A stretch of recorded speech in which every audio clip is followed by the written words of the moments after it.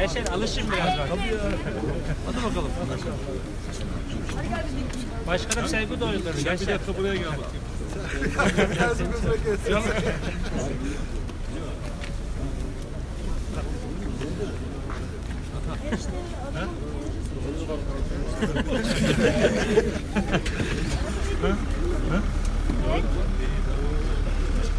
Kız çocuklarına göre mi veriyorsun? Şey, Bak hadi bakalım sıra geçin. Al bak.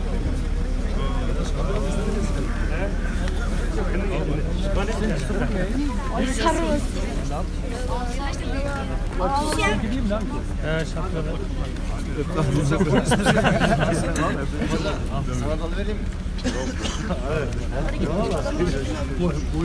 Uzat elini. Elini uzatsana lan. Allah Allah. Başı. Bir araba daha var. Geç. Ay sana kız oldu. Kardeşim. Kardeşim.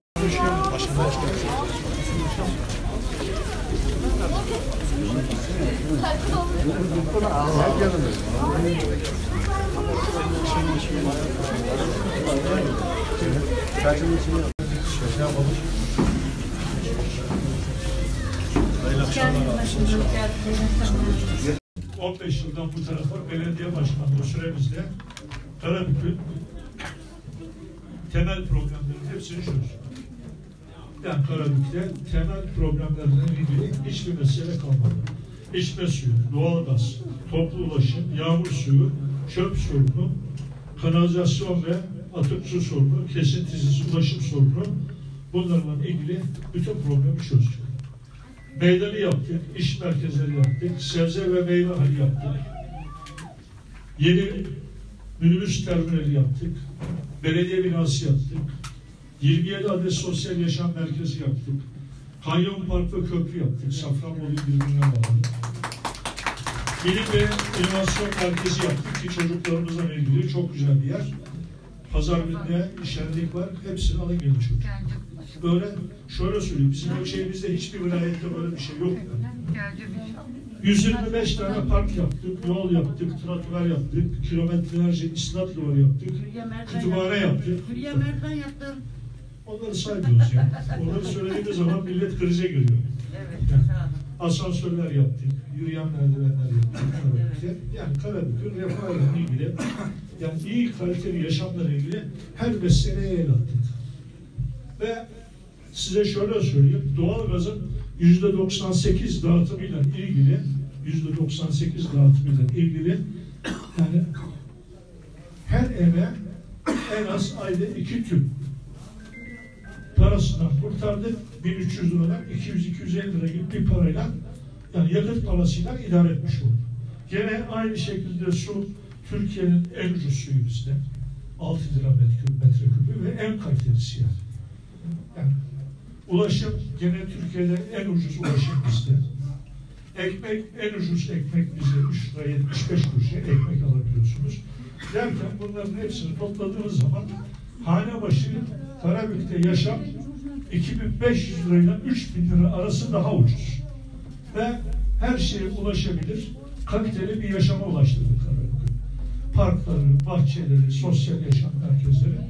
Hocam camileri de sıcak suları. Hepsi de dahil yani eksiksiz. Yani elimizden geldiği kadar yani şehirde yani iyi bir yaşam ortaya çıkardık. Şimdi temel problemlerin hepsi bittikten sonra artık yaşamımızla ilgili, yaşlarımızla ilgili, gençlerimizle ilgili, çocuklarımızla ilgili programları ele aldık. Yani şimdi çocuklarımızla ilgili programların içerisinde yani çocuklarımızın eğitim öncesi okulları, kreşleri yani. Şu anda beş tane mahallede daha yapacağız.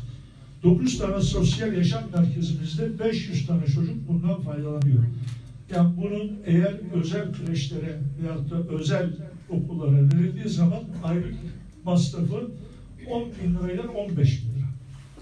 Biz ne kadar çocuğumuz varsa hepsini faydalandırmayı düşünüyoruz.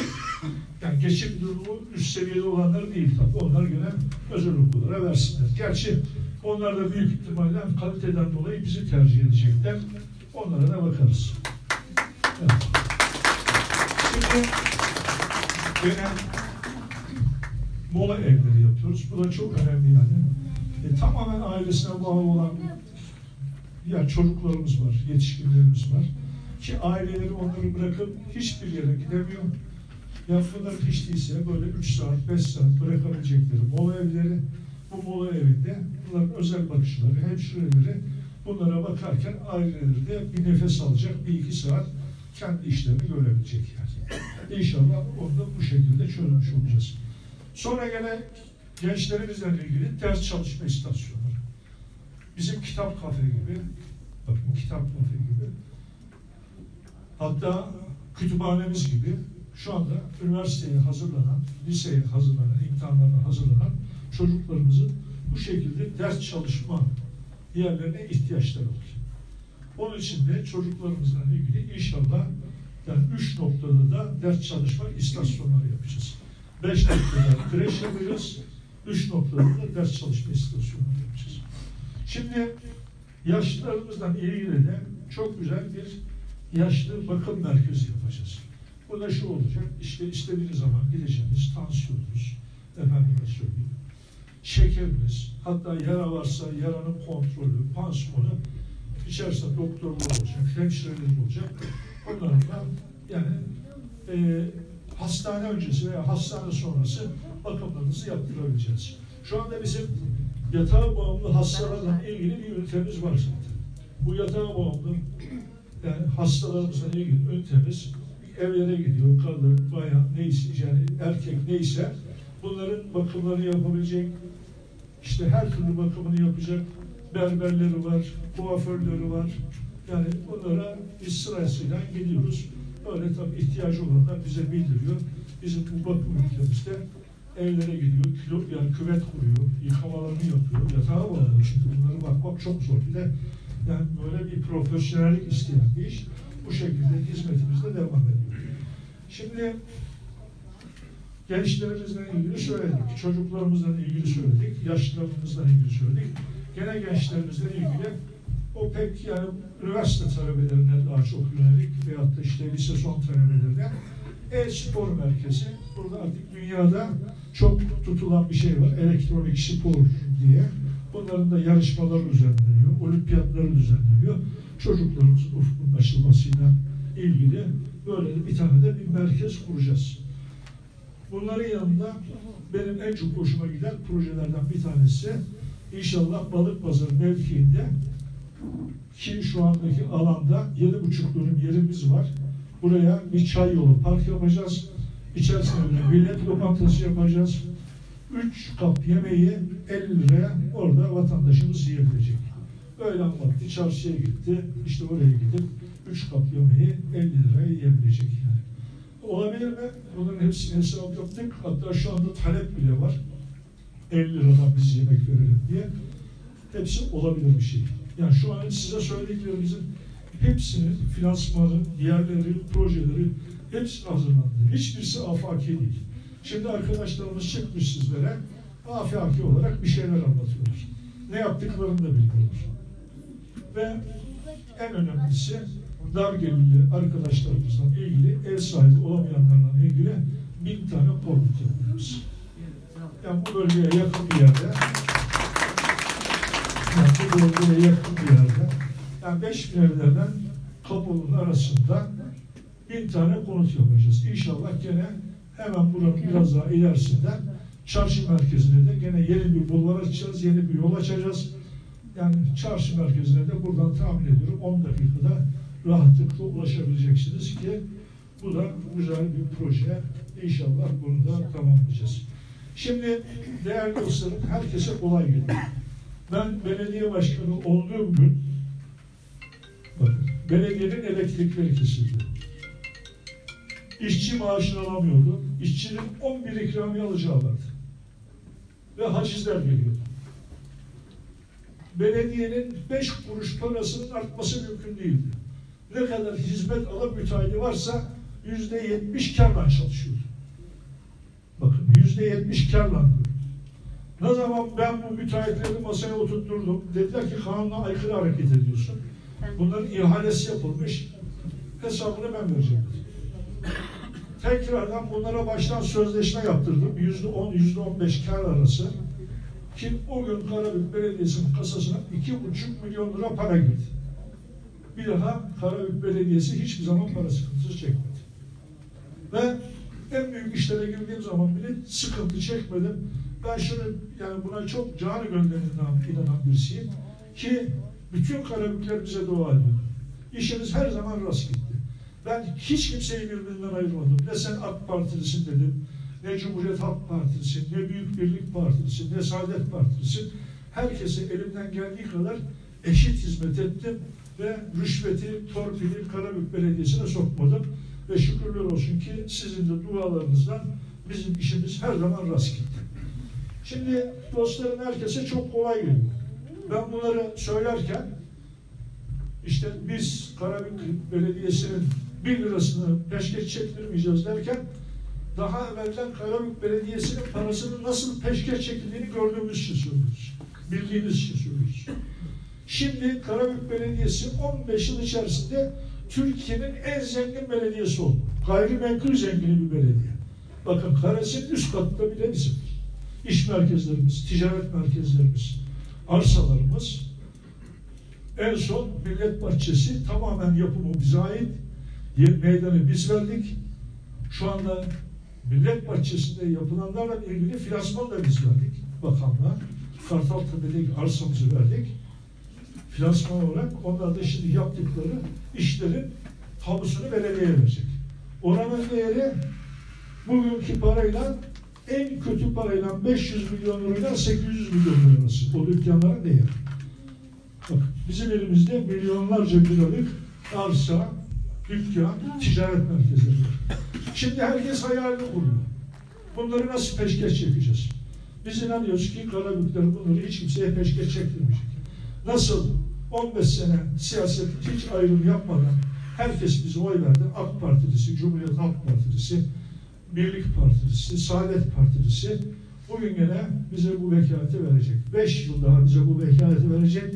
Biz de inanıyoruz hiç kimseye burayı Karabük peşkeş çektirmeyecek. Hayırlısıyla diyelim. Şu anda hiçbir şu ana kadar yetki sahibi olmamış, hiçbir yerde bir şey idare etmemiş arkadaşlarımıza milletvekilleri kefil oluyor ve yola çıkıyorlar. Ne hesapları olduğunu biz biliyoruz. Biz biliyoruz ne hesapları olduğunu. Ve biz her zaman ittifakın da yanında olduk. İttifakı da destekledik. 15 Temmuz'da da herkesten önce sokağa çıktık. Yani bu memlekette bir anda Adnan Menderes dahi olmaması için elimizden gelen her şeyi yaptık. Hem genel merkezimiz hem Karabük. Şimdi arkadaşlarımız 15 Temmuz akşamı kaybolanlar bugün Karabük'te siyaset yapıyor. Hangi yüzden yapıyor ben onu da bilmiyorum. Değerli dostlarım, ben bugüne kadar Karabük'e vefa borcumu ödedim. Şükürler olsun siz bana vefa borcumu ödemem için bir fırsat verdiniz. Ben yine vefa borcumu ödemeye devam edeyim diyorum. Siz de oylarınızdan, dualarınızdan, gönül birliğinizden bizi destekleyin. Karabük'ü tekrardan bu söylediğimiz yeni projelerimizden beraber imar edelim. Hep beraber Karabük'te yaşamaya devam edelim. Hepinize çok teşekkür ediyorum. Bu şartlarını beklediğiniz ayarlarınız. Hepiniz Allah razı olsun. Sağ olun. var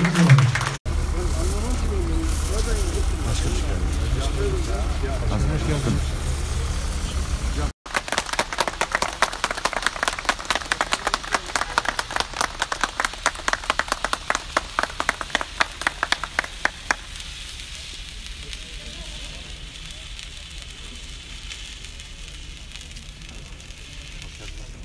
Ki biz bu belediye başkanlığı görevimizin içerisinde rüşveti belediyeye sokmadık.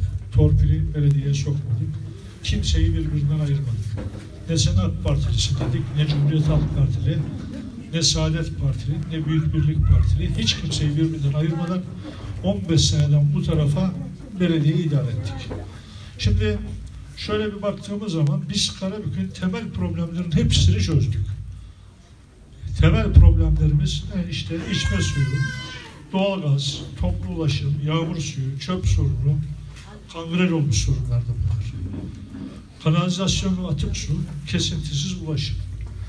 Bunların hepsi başlı başına büyük problemdi. Çöp dahi çok büyük problemdi ki çözmeleri mümkün değildi eğer. Yani biz bu işe el atmasaydık. Meydanı yaptık, iş merkezleri yaptık, sebze meyve hali yaptık, yeni belediye binasını yaptık, minibüs terminalini yaptık, 27 adet sosyal yaşam merkezi yaptık, kanyon park ve köprü yaptık, bilim ve inovasyon merkezi yaptık. Pazar günü çocuklarımızı oraya bekliyoruz yani. Şu anda hiçbir vilayette, bizim ölçeğimizde hiçbir vilayette olmayan, bildiğim kadarıyla da zaten 17 tane büyük şehirde olan bilim ve inovasyon merkezi çocuklarımızla ilgili. 125 tane park yaptık. Yol, trotuar, kilometrelerce istinat duvar yaptık. Kütüphaneyi yaptık, düğün salonu yaptık derken Karabük'ün temel problemlerin hepsi bitti. Ama asıl yani şöyle biraz daha geriye gelirsek 2009 senesinde ben belediyeyi devraldığım zaman belediyenin elektrikleri kesildi. icralar geliyordu. Bakın icralar geliyordu. İşçi 11 ikramiyesini alamamıştı. O ay maaşını dahi alamayacaktı. Şöyle bir baktık dedik ki bu hesaplar nereden geliyor? Nasıl bir yanlışlıklar? Gelirine giderine. Gördük ki müteahhitler yüzde yetmiş karla çalışıyor. Hizmet müteahhitleri. O zaman işte çöp, temizlik, park, bahçeler hepsi hizmet müteahhitlerinde. İtfaiye, mezba. Hepsi yüzde yetmiş karla çalışıyor. Ne zaman ki ben tekrardan yeni sözleşmeleri yaptım. Karları yüzde ondan on beşe düşürdüm. Karabük Belediyesi'nin kasasına o gün iki buçuk milyon lira para girdi. Şimdi bu iş bilmekten, iş bilmemekten ben artık bilemem. Onun hesabını kendileri hem vicdanında hem de Allah katında onun hesabını kendileri versin. Kendileri versin. Bir kuruşluk yatırım yapmaları mümkün değil bu memlekete. Eğer onlar idare. Ha ben niye yapıyorum? Ben vefa borcumu ödüyorum Karabük'te. Ben burada varlığı görmüşüm, zenginliği burada görmüşüm, yoklukta gördüm. Problem değil. Ama her şeyi biz bu memlekette gördük.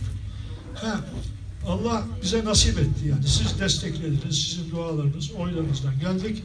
Bize vefa borcunu ödemeyi Allah nasip etti. Biz de ne yaptık işte? Sizin her liranızı, her kuruşunuzu yani şöyle söyleyeyim hiç kimseye peşkeş çekmedik.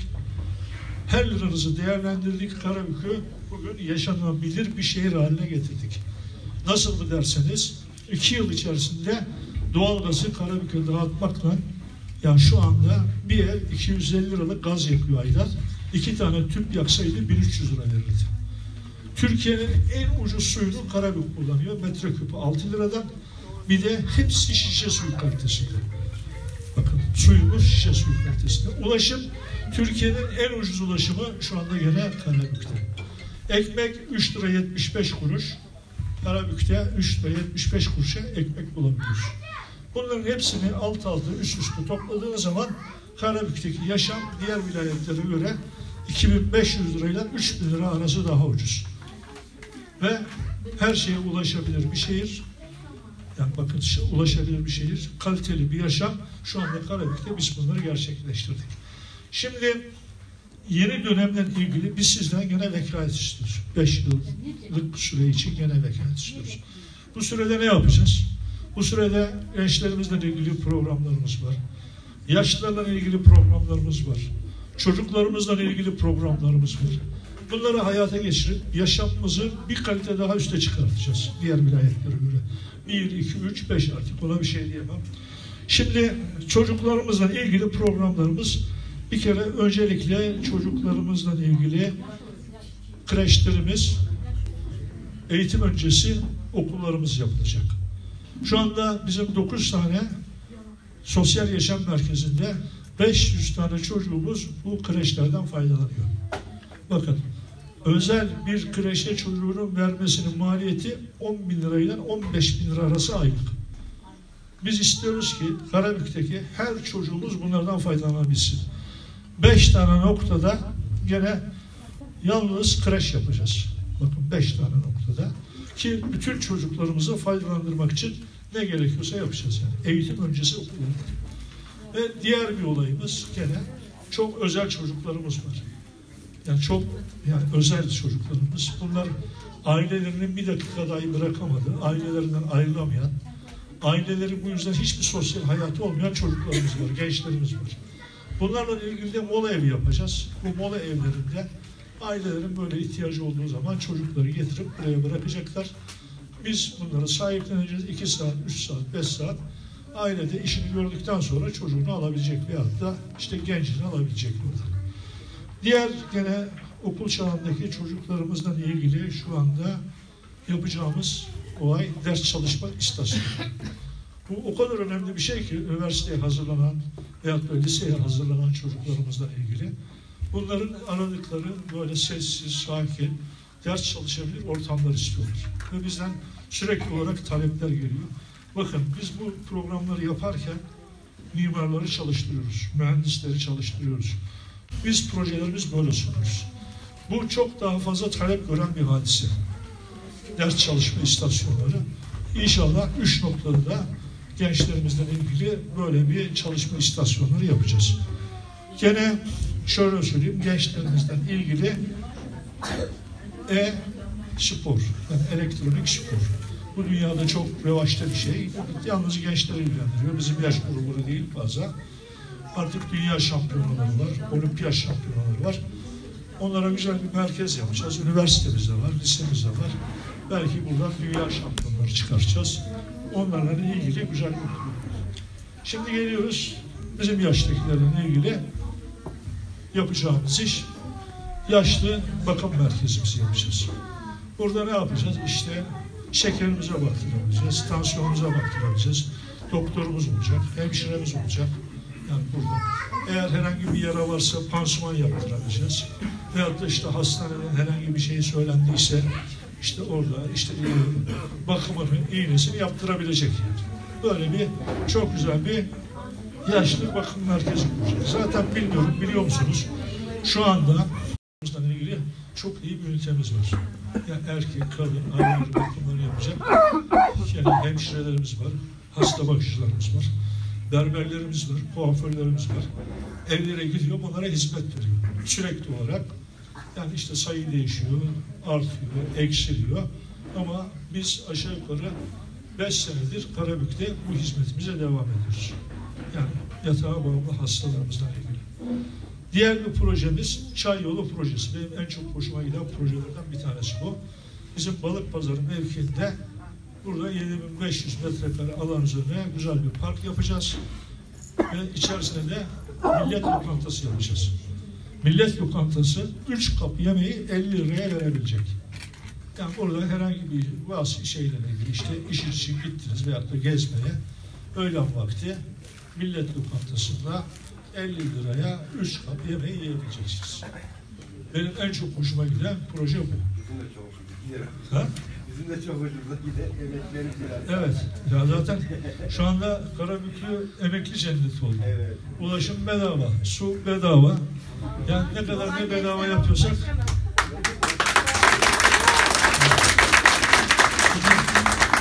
Allah'a şükürler olsun ki gerçekten yani sizin dualarınız yani manevi destekleriniz bizi hiçbir zaman sıkıntıya sokmadı. Düşünebiliyor musunuz? Bir akşamda 60 tane araba aldık. Yani o günkü parayla 80 bin lira. Bugünkü parayla almaya kalksan 300 milyon lira. Hattıyla beraber satmaya kalksanız 500-600 milyon lira. Şimdi zaten e, işlerinde çok bu işten iştigal eden arkadaşlar var. Hesaplarını ona göre yapıyorlar. Bizim kurmuş olduğumuz güzel bir düzen. Şimdi en büyük projemiz tabii ki gene ev sahibi olamayan arkadaşlarımızla. Yani şu anda size şöyle söyleyeyim. TOKİ'nin bile yüzde 40 altında inşallah bin tane konut üreteceğiz. Ödeme kolaylıkları dahilinde evi olmayan arkadaşlarımızı ev sahibi yapmayı düşünüyoruz. Şu anda talepleri topluyoruz. Herhalde bir Tabii bu kadar güzel işleri yapıp böyle her seferinde de iyi projeler ortaya koyup her zaman da şöyle bir propaganda yaptılar. Rafet Vergili bunları yapamaz. Rafet Vergili yalan söylüyor. Rafet Vergili yıldızları gökten indiriyor dediler. Şükürler olsun ki biz de her seferinde yıldızları gökten indirdik. Şu ana kadar size söz verip de yapamadığımız hiçbir iş olmadı. Bakın biz bunların arsasıydı, finansmanıydı, parasıydı, bu yaptığımız işlerin hepsinin hesabını yapmadan size hiçbir söz vermedik şu an. Arsa yeri belli mi başkanım? Arsa yeri beş evlerinden kapı arasında. Arsa yeri. Ve aşağıya da bir bulvar yol açılacak. Yani yolumuz da şu anda her şeyi hazır. Yani yolun bir tek açımı kaldı. Açılması. Yani çarşı merkezine o evden çıktığın zaman 10 dakikada çarşı merkezine inebileceksin yani bu kadar giyiyor Yok şu anda mesela değil yani. Kapının en üstünden 10 dakikada inemezsiniz. E, Oraya şimdi kapılla faydalanacak o yoldan. Yani inşallah yani yerimiz orası. Bir yer daha var onu da söylemeyeyim şu anda.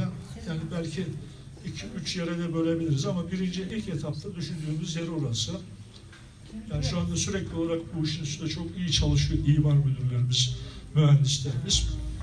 Ama Allah'ın izniyle bu projelerin hepsini gerçekleştireceğiz. Şimdi değerli dostlarım en büyük hadise şu. Karabük Belediyesi artık çok zengin bir belediye oldu. Gayrimenkul zengini. Bakın. Şu anda millet bahçesi yapılıyor. Millet bahçesini tamamen biz finanse ettik. Kartaltepe'deki yerlerimizi verdik. Onun içerisindeki dükkanların tamamını ve oranın tapusu bize verecek camiye kadar. Yani buradaki dükkanların değeri şu anda 800 milyon lira civarında. Bakın, hatlarıyla beraber otobüsleri satsalar 7-800 milyon yapar. Bunun gibi. İş merkezlerimiz var. Karesi üst katı bile bizim. Şimdi bu arkadaşlarımızın tek düşündüğü şu. Karabük'ün belediyesinin mal varlığını nasıl efendime söyleyeyim sağa sola peşkeş çekeriz. Böyle bir düşünceleri olmasa iş bilen arkadaşları oraya götürürler. Bakın, iş bilen arkadaşları oraya götürürler. Böyle bir düşünceleri olmasa Ankara burada iş yapacak diye propaganda yapmazlar. Böyle bir düşünceler olmasa koskoca milletvekili falan emredecek, Ali abisi yapacak diye konuşmaz. Bakın, herkesin düşüncesi farklı. Ben diyorum ki değerli dostlarım, 15 sene bana vekalet verdiniz. Ben de elimden geldiği kadar sizlere hizmet ettim. Karabük'ün hemen hemen hiçbir eksiğe bırakmadık. Bundan sonra Karabük bizi zaten 50 sene, 100 sene unutmaz. Köprülerimiz, alt geçitlerimiz. Gene bir beş yıl daha sizden vekalet istiyoruz. Bu yaşlılarımızla ilgili, gençlerimizle ilgili, çocuklarımızla ilgili programları da hayata geçirelim ki yaşam kalitemiz biraz daha yükselsin. Şuna inanın ki biz bugüne kadar nasıl böyle adil davrandıysa bugün de hiçbir şey değişmeyecek yani. AK Partili arkadaşlarımız, Cumhuriyet Halk Partili, Büyük Birlik Partili, Saadet Partili arkadaşlarımıza yani tüm partilere, partisizlere fark etmez. Aynı adil şekilde hizmet etmeye devam edeceğiz. Karabük'ün tüm varlıklarını, Karabük Belediyesi'nin bütün varlıklarını korumaya devam edeceğiz ki bir lirasını peşkeş çekmeyeceğiz, bir lirasını hiç kimseye yedirmeyeceğiz, rüşvete sokmayacağız, torpile sokmayacağız. Sizden bir beş yıl daha vekalet istiyoruz. Hep beraber iyi yaşamamız için, çocuklarımızın geleceği için sizden bu vekaleti istiyoruz. Dualarınızı istiyoruz, oylarınızı istiyoruz. Bizi bu saatte burada misafir ettiğiniz için de hepinize ayrı ayrı teşekkür ediyorum. Sağ olun, var olun. Hepinizin hayırlı akşamları.